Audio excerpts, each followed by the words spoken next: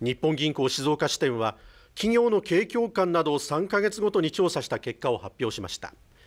業況判断指数は中小企業の落ち込みが目立ち前回から6ポイント悪化しました。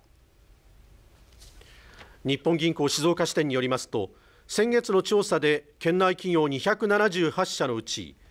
景気の現状を良いと答えた企業から悪いと答えた企業を差し引いた業況判断指数はプラス5となりました。前回の3ヶ月前の調査から6ポイント下がり全国の2ポイント下降を上回るペースの悪化でした。